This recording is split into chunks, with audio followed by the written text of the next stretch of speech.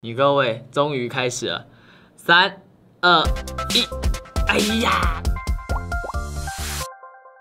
嗨，各位观众朋友们，我是雪兔。今日我们要来开盒。雪兔呢，在早上有去了一趟我们客馆，去拿雪兔在这一次 Pokemon Go TCG 的礼盒了。当然，一定会有人在讲说，PTCG 的礼盒中文版不是就是那一些吗？No No No No，雪兔呢并不只收藏我们中文版的礼盒，最主要呢，雪兔是收藏英文版的礼盒。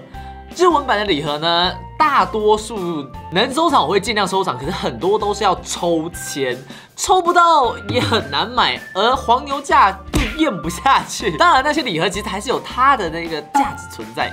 因为礼盒嘛，大多数就是卖完一轮了就不会再复刻，所以礼盒到后面都会越来越贵，不会越来越便宜。台湾的目前看下来叠价是叠蛮凶的啦，所以我宁可国际版多买一些些。那至于雪兔买了多少呢？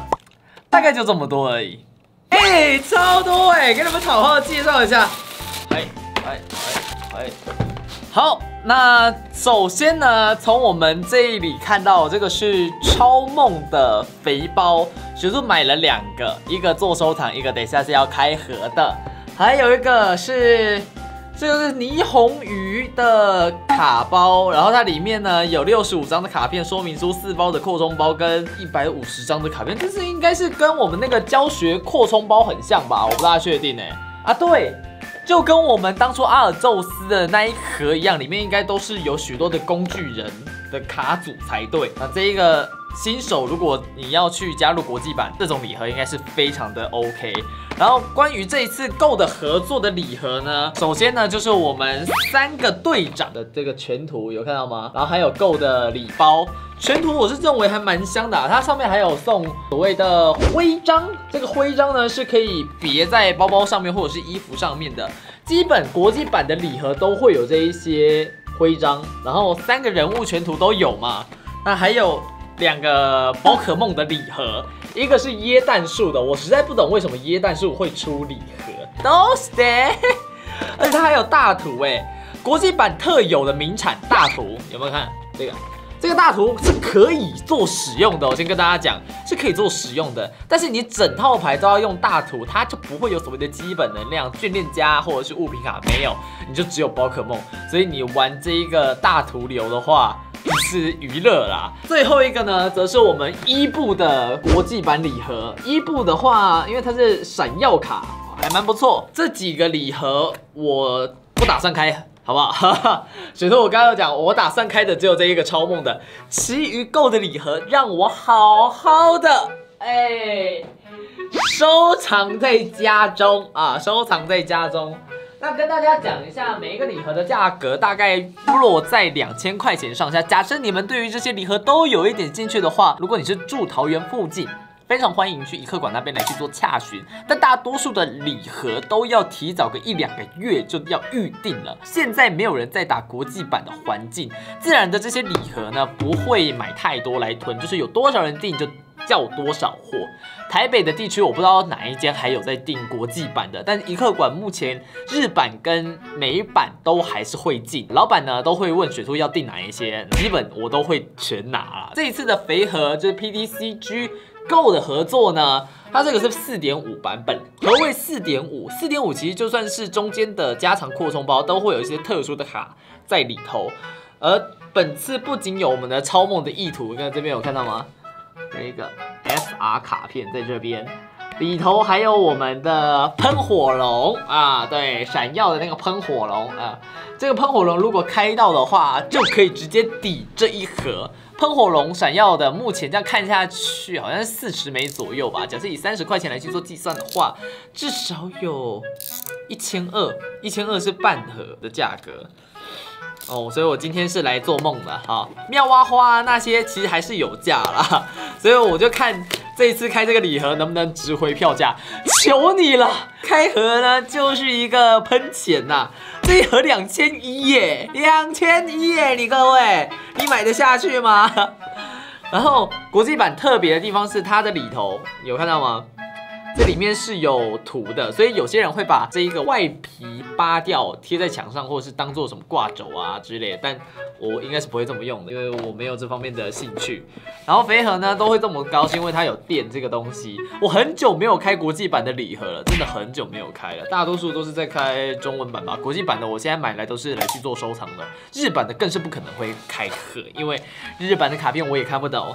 它里面会有一个，在这一盒会有哪一些卡片的说明书，来给大家看一下。国际版有趣的地方是，它会解说所有的卡片的特性，并且它上面还会给予就是卡片的搭配，要怎么配这张卡会比较好啊之类的，反正还蛮不错的啦。这一次本子的质感其实还蛮不错的呢。国际版的好处跟大家讲一下，就是你流通性是高的。你国际版的这一些卡片拿去亚马逊，反正你只要拿去一些外国人都会常用的卡片交易地区，都很容易卖得掉。真的有荣幸可以抽到意图的超梦或金超梦的话，其实也是很赚哎。那我们来看里面里头还有哪些东西吧。首先，这个序号卡呢是有用的，之后有那个线上版本是可以直接去做登录，可以拿到一堆卡包。然后它还会有我们的卡套，超梦的深蓝色配色，以及我们的 SR 的，就是这一张的超梦，哎，很帅耶，就像是日版的卡盒。他们礼盒里头会有意图，那些意图就是让那一个卡包增值的最主要原因。当然啦，它的那一旦有哪些好卡也是有关联。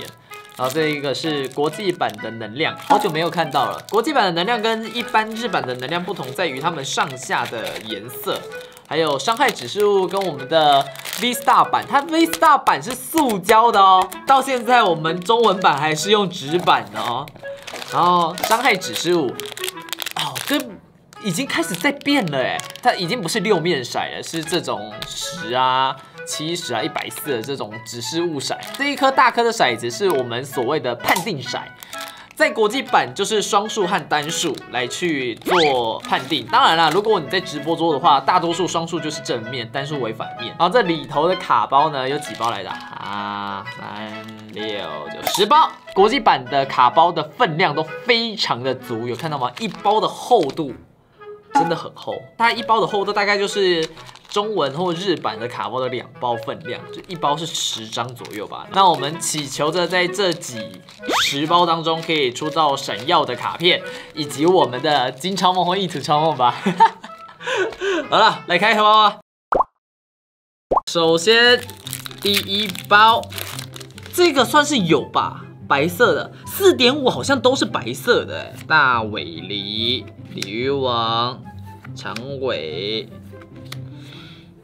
哎呦，有我们的皮卡丘。国际版的卡片比较偏纸，所以如果它沾染湿气的话，很容易会变黄或者是发生什么事情。哎呦，水箭龟，水箭龟是蛮帅气的，有没有什么？全图之类的没有，第一张是白色的，但是是双闪，好像四点五都会是白色边诶。跟大家解释一下，我们可以从序号卡这里就可以知道说这一包是好卡或是不好的了。如果是全绿色的话，就是没有好卡；有白色的话，就是有双闪或者是有一个 V 卡。这一包有吗？这一包是双闪还是有 V 卡的？哎呀，双闪啊，没有。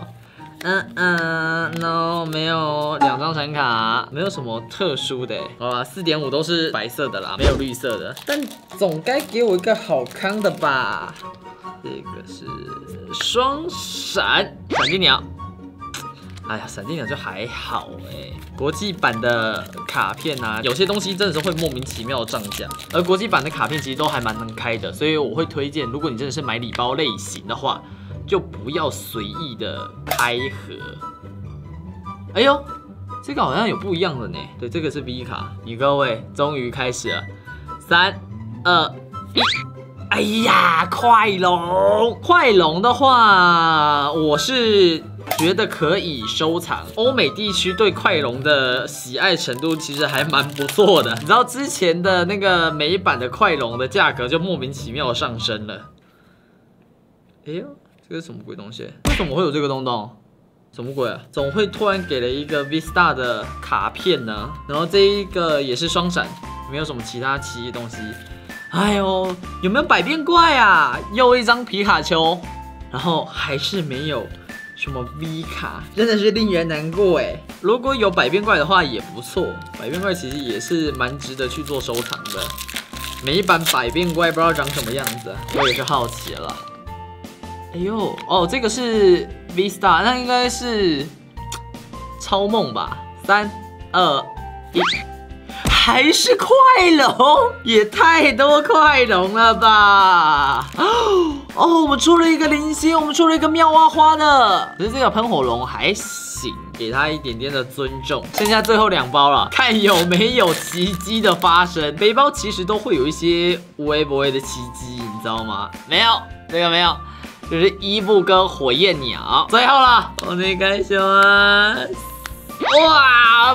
皮卡丘，我们的快龙，然后妙蛙花零星的，然后三张皮卡丘跟一张喷火龙，这几张应该是可以来去做收藏的，其余的就有点抱歉了，给它收起来吧。